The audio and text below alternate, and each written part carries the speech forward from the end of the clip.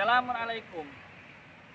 Kepada Kak Acep Saipudin, semoga Kak Acep Lau and partner makin sukses. Salam dari Istanbul. Saya bangga menjadi adik kelasnya Kak Acep Saipudin. Merhaba. Syukur dari